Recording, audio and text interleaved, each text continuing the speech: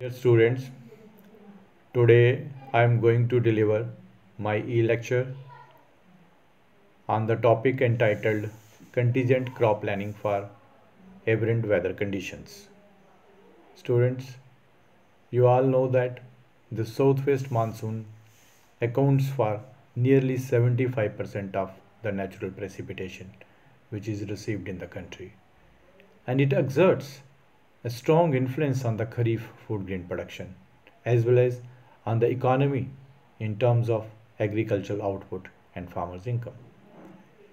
This onset of southwest monsoon and the amount of rainfall and its distribution are the crucial factors which influence the performance of agriculture. In rainfed areas, as a general rule, early sowing of crops with the onset of monsoon is the best bet practice that gives high reliable yield. But the crop yield is affected due to delay in monsoon or sometimes prolonged breaks during the cropping season and also there are chances of early withdrawal or continuation of monsoon for longer periods. These aberrant situations often lead to the poor crop performance or the total crop failure in most of the major crops. So, there is a need to develop appropriate strategies to deal with such eventualities. So, coming to the topic contingent crop planning for aberrant weather condition. Let us understand the meaning of the word contingent what does it mean? The word contingent means any future event or the circumstance which is possible but cannot be predicted with certainty. Students you might have seen that on the normal onset of monsoon when crops are sown in the conserved moisture and during the early growth any unexpected or unfavorable weather abnormality like long dry spell of 3 to 6 weeks, drought or early cessation of monsoon may occur. This unexpected or accidental occurrence of unfavorable weather after sowing is known as the contingency and the crop planning to overcome this contingency is called contingency crop planning. So student, contingency planning refers to mitigate or reduce any such unexpected, unusual, unfavorable and hence unwanted accidental weather situations occurring at any time without prior knowledge before the crops are sown or even after the crops are sown. Here, uh, what does it mean that unusual or unexpected weather when the crops are sown or before the crops are sown. When we are when we are talking about the period before the crops are sown it means that the unfavorable situation uh, is your uh, delayed onset of monsoon. And after the crops are sown this includes the prolonged dry spells during the crop growing period so students, but is the definition of the contingent crop planning?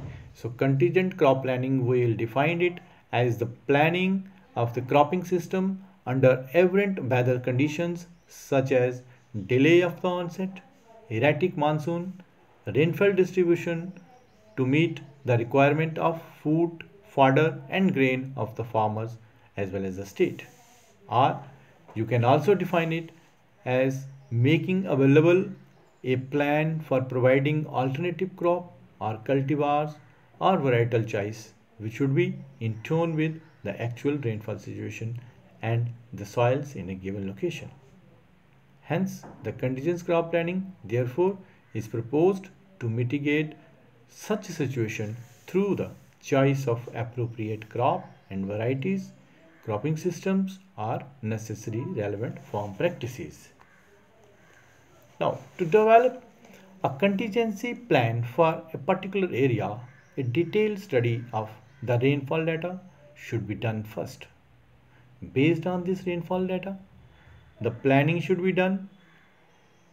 And in any area generally one or the two of the rainfall situations may occur. And these rainfall situations are rainfall aberrations are delayed onset of monsoon, normal onset of monsoon which is followed by immediately prolonged dry spell, mid-season drought, early cessation of rains or extended monsoon. Now, what are the effects of rainfall aberration on the crops? Now, there are different rainfall aberration which uh, we have uh, read in the previous slide like delay in the onset of monsoon, early cessation of rains and intermediate dry spells which includes dry spell immediately after sowing, dry spell at vegetative phase, dry spell at flowering and dry spell at ripening. Now what will be the effect of these rainfall aberration on the crops?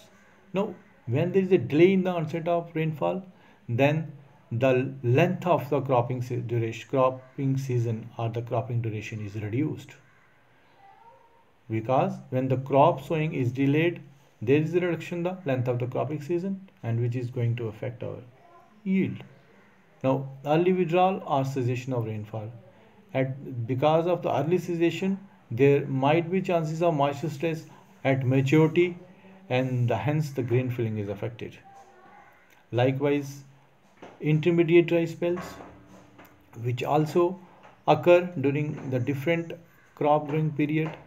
This dry spell may be immediately after the sowing of the crop which includes uh, the, the less germination of the crops, poor plant population and hence the growth of the plant is affected. Likewise, if this dry spell will be at vegetative phase, it will affect the growth of the plant. There will be uh, poor stem elongation. There will be less leaf area expansion and at the same time there will be reduction in branching or the tillering of the plant.